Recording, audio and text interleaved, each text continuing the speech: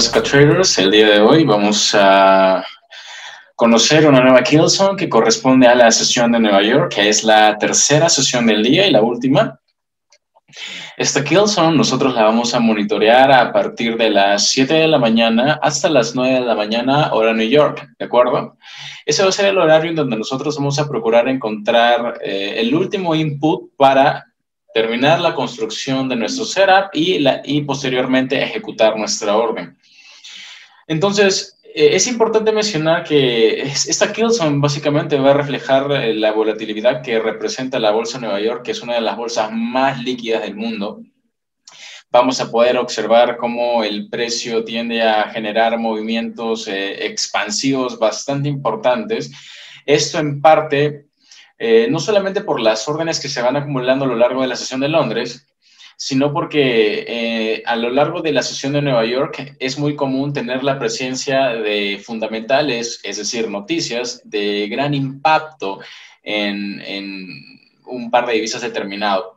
Los pares más activos que vamos a encontrar a lo largo de esta sesión van a ser los pares mayores o aquellos eh, que se crucen, que es igual a decir, que aquellos que se crucen con el dólar. También es, eh, es, importante recalcar que el hecho de que yo eh, sepa que en la Kilson voy a tener la posibilidad de construir un setup de alta probabilidad eh, en determinado par, no quiere decir que en todos los pares yo voy a encontrar este setup.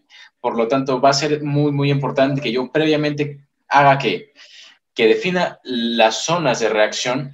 esto lo hago o lo logro, lo consigo a través de mi análisis en temporalidades mayores ¿ok? Eso me va a permitir a mí eh, determinar o hallar la zona de altísima reacción y dependiendo de la hora en la que el precio toque esa zona o cotice dentro de esa zona que nosotros hemos previamente definido, vamos a poder construir setups, ¿de acuerdo? También es importante mencionar, y, o perdón, recalcar que, que en la medida en la que nosotros definamos eh, distintas zonas de reacción, por ejemplo, si es que analizamos tres, cuatro, cinco pares, eh, tener, tener presente esas zonas en, eh, en el horario, que, que, es básicamente la Killzone, porque van a haber ocasiones en las que el precio no necesariamente va a llegar en un par a esa zona, pero sí va a llegar en otro. ¿Ok? Entonces, teniendo eso presente, vamos a entender por qué en esta Killzone no necesariamente el precio, por ejemplo, va a llegar a un Optimal Trade Entry que hayamos de predefinido eh, en un par. ¿Sí me entienden? Posiblemente el precio llegue a un OT en otro par por eso también es importante mencionar que ustedes, eh, en la medida de lo posible, o se enfoquen en un solo par y si se les presenta el trade, operen ese, ese escenario, pero que si no se cumplen sus parámetros o sus condiciones, entonces mejor no hagan nada y esperen a, a un siguiente día, una siguiente sesión o una siguiente Killzone, ¿de acuerdo? Entonces, eh, también es importante mencionar que esta Killzone de Nueva York nos va a permitir tener un margen de, de pips de 20 a 30 pips que sería lo, mínimo, que sería los, los certeros, es decir, que si construimos el ser a alta probabilidad, es casi, casi seguro que nosotros vamos a tener 30 pips en nuestra cartera. Sin embargo, también es bastante común que en esta Kilson veamos expansiones muy, muy fuertes, son expansiones que, que, llegan a ser de hasta 100 pips, ¿de acuerdo? Entonces, teniendo, teniendo esos inputs en, inputs en cuenta, vamos a poder eh, calcular adecuadamente nuestros objetivos y también vamos a poder calcular adecuadamente o definir nuestros puntos de entrada. Entonces, para explicar el desarrollo eh, y ejecución de nuestras posibles órdenes a, lo largo de esta Killzone de manera sencilla, voy a comenzar eh, teniendo en cuenta todos los conceptos que hemos aprendido previamente y también teniendo en cuenta las Killzone anteriores. ¿Por qué? Porque la Killzone de Nueva York también se la podemos tener como una Killzone de respaldo en caso de que hayamos sufrido una pérdida en las sesiones anteriores o en las Killzones anteriores. Si yo perdí en Asia, si yo perdí en Londres, puedo utilizar esta Killzone para mitigar mi pérdida y de esa manera salir en, en parciales, en equilibrio para el día, ¿sí me entienden? Entonces, con todo eso, ya podemos empezar a analizar este gráfico. Si ustedes se fijan, a traders, yo tengo el comienzo del día aquí en esta línea definida o esta línea punteada, ¿ok? Entonces, a partir de allí yo empiezo a realizar mi análisis y previamente tengo definido que tengo definido ese bloque de órdenes diario. Es decir, que el precio podría llegar a ese bloque de órdenes diario y ya tengo la zona donde se podría detener o el precio específico donde, donde eh, la cotización podría detener su caída, ¿de acuerdo? Entonces, primero defino ese nivel y luego me fijo en qué hace el precio en el horario. Si aún tengo un margen, es decir, si aún tengo todo este rango de caída por parte del precio, yo lo que puedo hacer a partir de las 7 de la mañana, que es mi horario de monitoreo, si tengo previamente un swing, puedo anclar Fibonacci a partir del máximo de ese swing y el mínimo que se crea, y fíjense cómo tenemos un retroceso perfecto a la zona del 62% de nuestro Fibonacci, ¿de acuerdo? Perfectamente podemos colocar un trade en venta en esa zona, protegiendo el máximo anterior, esperando que el price action descienda hasta el bloque de órdenes que tenemos definido en esta zona, ¿de acuerdo? Si ustedes se fijan, abre la Kilson de Nueva York y tenemos ese retroceso y la expansión, ¿de acuerdo? El precio luego que crea, crea una consolidación, pero nosotros podemos tener perfectamente nuestro take profit o nuestro target o nuestro objetivo en el daily or black. ¿De acuerdo? Porque ese va a ser un nivel de patrocinio institucional que el price action va a buscar. Por lo tanto, mm, podemos esperar perfectamente el desarrollo de, eh, digamos, la evolución de este trade. Excelente. Luego de que se genere esa consolidación, ahí abre el nuevo día definido por esta línea punteada. Quiero que se fijen en lo siguiente. El precio recién llega a ese objetivo al día, al día siguiente de haber colocado o ejecutado nuestra orden. Una vez que nosotros salimos en Take Profit, lo que vamos a ver es lo siguiente. A partir de la apertura de Londres, fíjense cómo Londres genera una expansión alcista y rompe con la estructura anterior. En este punto yo ya sé que tengo que buscar en el precio. Lo que puedo buscar es un punto de entrada en el retroceso. Ese punto de entrada en ese retroceso se va a dar a partir de qué? A partir de la apertura de la Kilson de Nueva York. Es decir, que yo a partir de esa hora voy a empezar a monitorear, voy a esperar un retroceso, algo que me, va, que me haga ir a favor del directional bias que yo he definido previamente. Es decir, que si yo defino que una vez que el precio llegue al daily or black, voy a empezar a, en este caso, Daily Bullish Sharp Black, voy a empezar a buscar compras, ¿ok? Entonces hago eso, ¿de acuerdo? Entonces, mi primer objetivo para esta Killzone va a ser el máximo anterior. Es decir, que si yo logro anclar un Fibonacci desde este mínimo, ¿ok? Y voy a anclarlo desde los cuerpos para definir el punto de entrada, fíjense, tengo una entrada perfecta en el nivel del 62%, y mi objetivo es perfectamente tocado durante la sesión de Nueva York. ¿De acuerdo? Entonces, hasta este punto hemos visto cómo nosotros podemos operar continuaciones en la sesión de Nueva York. ¿De acuerdo? Ahora, a partir de este momento, yo tengo el cambio de estructura, ¿ok? Es decir, que yo a partir de este momento puedo empezar a buscar compras. Quiero que se fijen que una vez que abre un nuevo día, tengo el precio. Eh, luego de haber creado una consolidación bastante interesante, ¿Qué tenemos aquí? Tenemos una inducción por parte del price action, ¿ok? A, ventas. Ahí es donde eh, el algoritmo logra eh, aparear las órdenes que están en venta aquí con las órdenes de compra institucional. Y si ustedes colocan o anclan un Fibonacci desde el último mínimo hasta el máximo que se creó, van a lograr darse cuenta que estamos en confluencia con un nivel del 79%. Basándonos en esta información y teniendo en cuenta que en la sesión de Nueva York podemos tener una nueva expansión alcista, es decir, que la sesión de Nueva York se va a caracterizar básicamente por expandir al precio, ¿de acuerdo? Entonces, si yo sé que esto sucedió eh, previo al Open Kilson de Londres y para la apertura de la Kilson de Nueva York yo tengo ya un mínimo previo, yo puedo anclar perfectamente un Fibonacci desde el último mínimo hasta el máximo que se crea y tener al precio reaccionando, pero ya no en una zona necesariamente de nivel óptimo de entrada, pero sí en la apertura o zona sensible del bloque de órdenes. Es decir, yo perfectamente puedo colocar una orden en esa zona delimitada por la sombra amarilla que estoy dejando allí es decir, voy a trabajar qué cosa? Voy a trabajar la zona sensible de este bloque de órdenes, dado que el, um, el máximo reciente no es tan alto. Entonces, si el precio retrocede, puede retroceder hasta esta zona para recargar, ¿ok? Y lo que va a permitir que las órdenes o que el precio siga fluyendo hacia arriba y las órdenes sigan, evidentemente, o repitiendo, reiterando, sigan fluyendo, va a ser este bloque de órdenes en confluencia con el horario de alta probabilidad que estamos manejando, que es el horario de las 7 de la mañana hora Nueva York. Entonces, fíjense, Eh, yo, por ejemplo, en este punto, yo podría colocar el stop loss protegiendo este mínimo. A mí no me interesaría ver en el horario de Nueva York al precio neutralizando este mínimo. ¿Por qué? Básicamente por dos cosas. Porque ya tengo el cambio de estructura, porque ya tengo el precio habiendo tocado un bullish short block diario y como tercer dato interesante, ya tengo el precio habiendo creado esta manipulación, este Judas Swing, ¿ok? Entonces, si yo tengo este Judas Swing y luego el precio creando el verdadero movimiento, cualquier retroceso es una oportunidad de compra. ¿Ok? Tengo nuevo impulso, retroceso, una oportunidad de compra. Entonces, en ese momento, en ese punto, con el horario en confluencia, que es a las 7 de la mañana, puedo colocar un trade en compra y esperar que el precio evolucione. Fíjense, desde que hemos empezado a analizar estos eh, escenarios, lo que hemos tenido es un trade en este punto con un, un, rango de pips de 37 pips objetivo. Está excelente. Lo que tuvimos al día siguiente fue básicamente un trade aquí, básicamente en una zona de 62% de Fibonacci con un objetivo en el máximo anterior, 25 pips. También está excelente. Lo que tenemos aquí ahora es básicamente al precio tocando la zona sensible de un bloque de órdenes y hasta dónde nos podemos ir podemos ir hasta este máximo, hasta, máximo, hasta, hasta este máximo.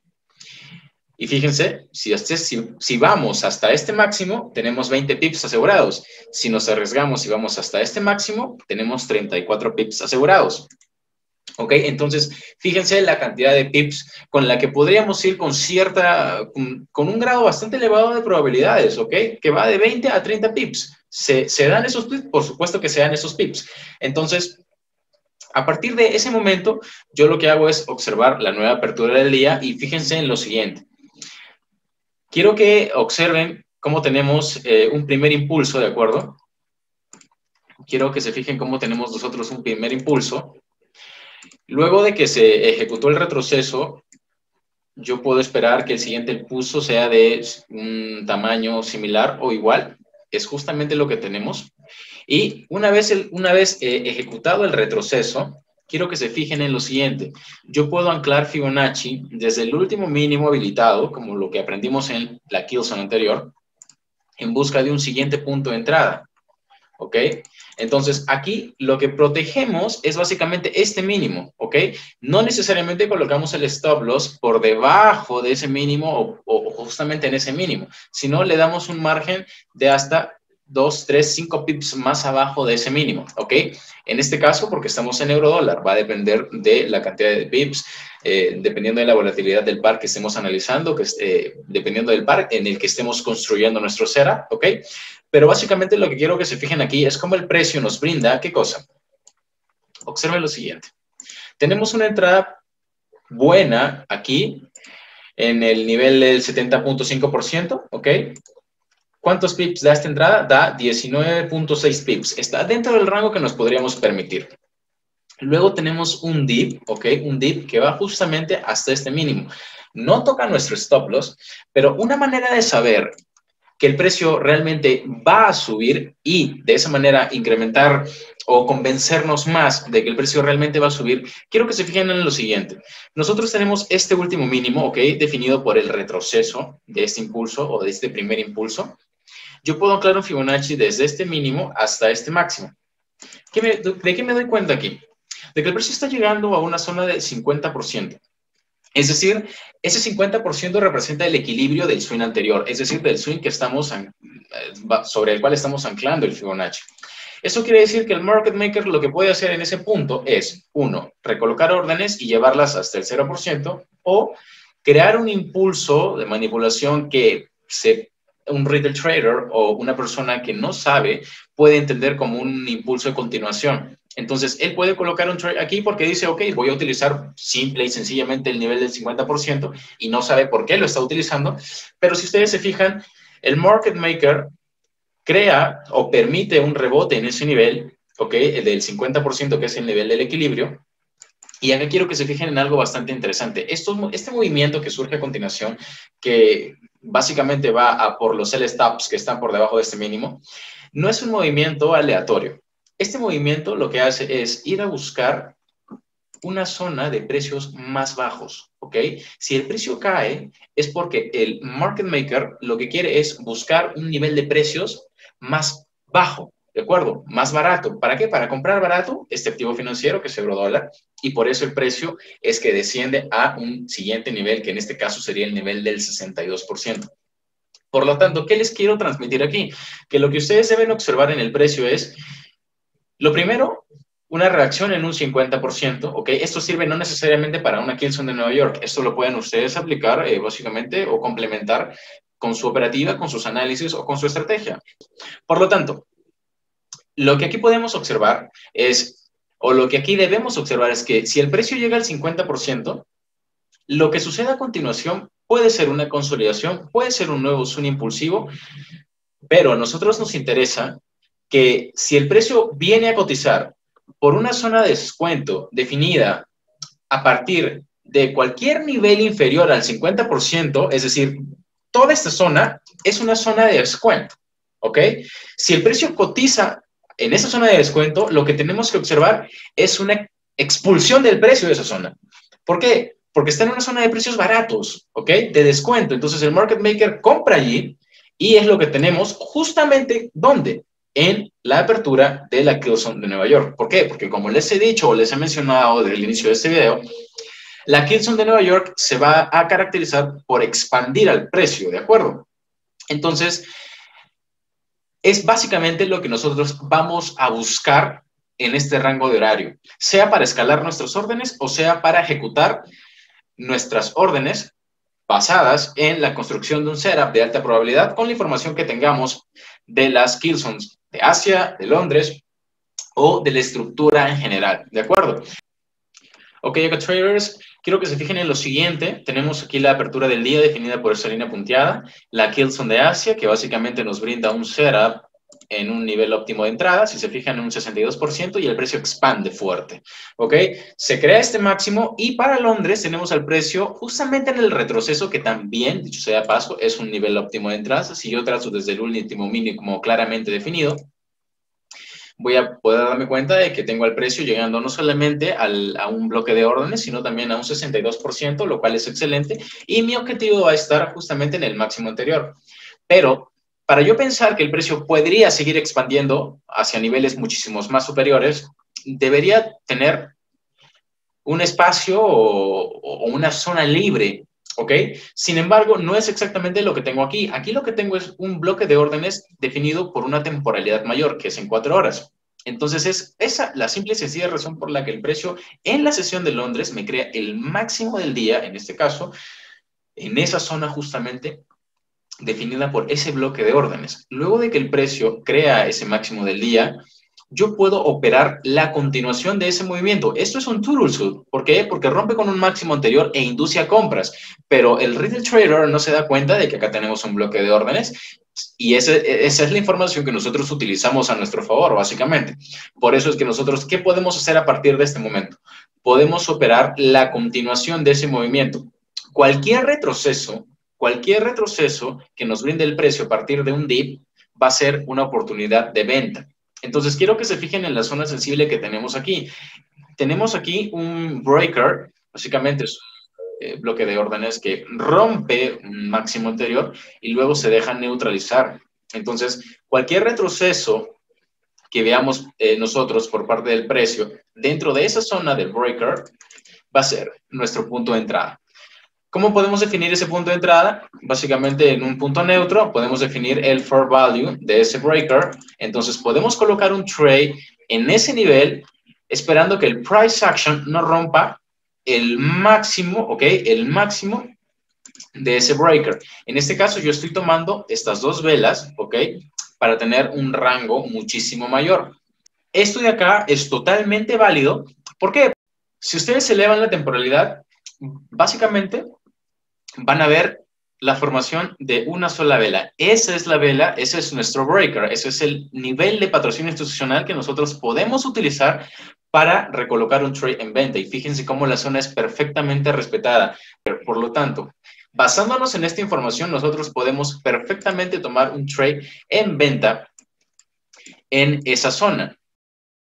Fíjense en lo siguiente, yo tengo el precio llegando a esa zona del breaker, que está definido básicamente por una temporalidad mayor, trabajo esa zona, tengo una nueva expansión alcista, un retroceso, ¿ok? Dentro de la sesión de Nueva York, que también, en la que también puedo anclar un Fibonacci o simplemente puedo entrar por, eh, porque tengo ahí simple y sencillamente un bloque de órdenes que va a ejercer presión y lo que yo espero para la sesión de Nueva York es la expansión, ¿ok?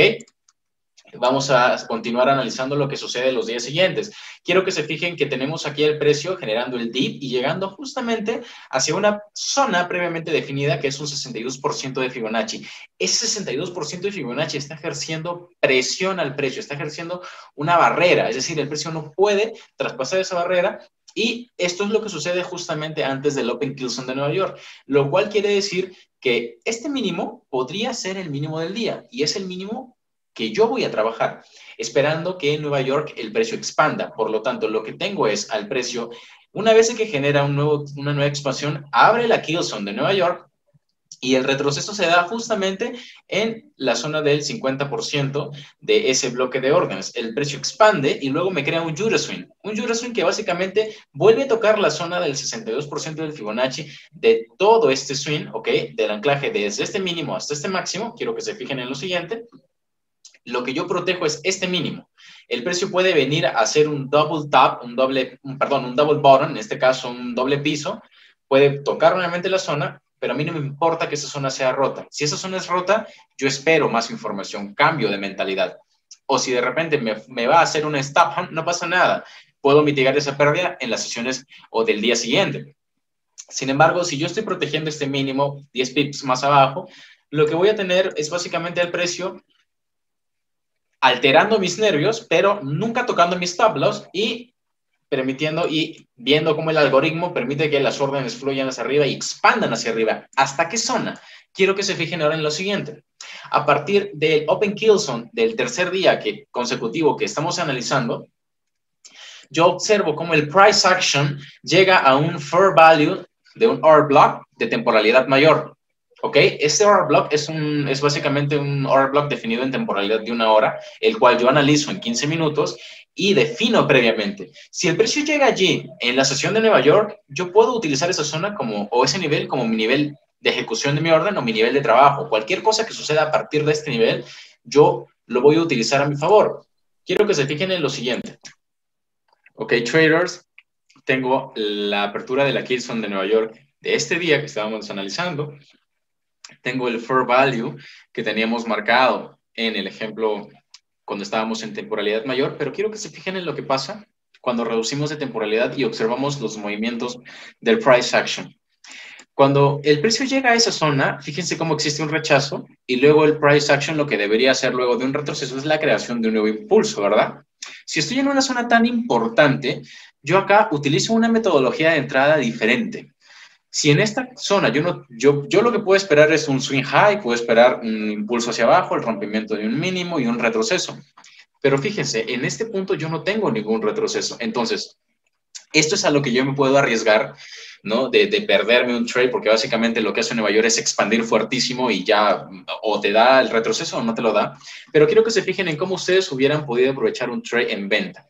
Una vez que ustedes tienen la reacción, esperan un rechazo y cuando el precio falla en la creación de un nuevo máximo y rompe el mínimo que crea, yo puedo operar aquí una venta en ese rompimiento, pero no, no es un rompimiento que yo vaya a operar eh, vehementemente, sin argumento. Yo lo que voy a hacer es operar ese rompimiento dado que me encuentro muy, muy cerca a una zona de patrocinio institucional, me encuentro muy cerca a una zona de reacción fuertísima entonces, lo que yo voy a proteger va a ser básicamente el máximo que se creó justamente en ese nivel. Fíjense, tengo 7 pips, puedo tener o puedo colocarle hasta 10 pips de stop loss, que sería lo prudente, 10 pips de protección, y tener mi take profit o mis parciales en estos mínimos relativamente iguales o en este mínimo, que también es una zona de sell stops bastante interesante. Si yo coloco el trade en esa zona, ¿ok? Es básicamente el fair value de un R black, yo voy a poder tener la posibilidad de llevarme un trade de hasta, si es que lo llevo hasta este bloque de órdenes, o inclusive hasta estos mínimos relativamente iguales, quiero que se fijen en la magnitud de este trade. Tengo un tape traffic perfectamente tocado y un ratio beneficio de 1 a 6. ¿Se fijan? 1 a 6. Perfectamente alcanzable, chicos. ¿Qué les estoy transmitiendo básicamente con, con esta información? Que lo que, lo que ustedes tienen que hacer a partir de la Kilson de Nueva York es interpretar la información, ¿de acuerdo? Pero antes sigan los pasos. Establezcan un protocolo de ejecución de órdenes. ¿Qué es lo que tienen que hacer primero? Definir las zonas de reacción del precio en temporalidad mayor. Es lo único que ustedes les va a permitir construir setups de alta probabilidad en